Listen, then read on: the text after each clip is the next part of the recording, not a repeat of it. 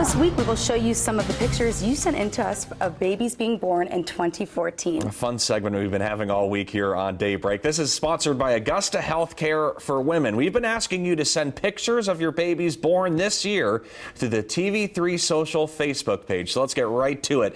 These uh, pictures were posted recently on the page. Starting us off this morning is Xander Kissamore right here. Xander was born earlier this month on December 10th. Looks like he's enjoying a nice nap in his winter gear. Wish that was me, right? and I love this picture. This is Zayden Elijah, born on June 6th. Now, if this picture doesn't make you smile, I don't know what will because it's all smiles for this guy this all, morning. All of them seem to have that like positive effect on you when you look at these pictures. Up next, we have Harper Grant, a great picture right here. I love it. Born on May 28th.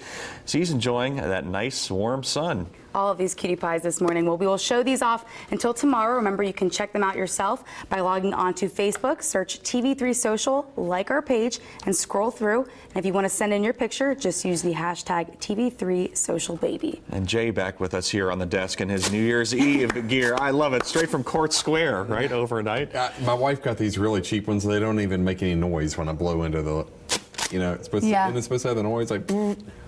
Hey. Doesn't happen. Mm-hmm. Unless it's the cheap ones. Well, that's what it is.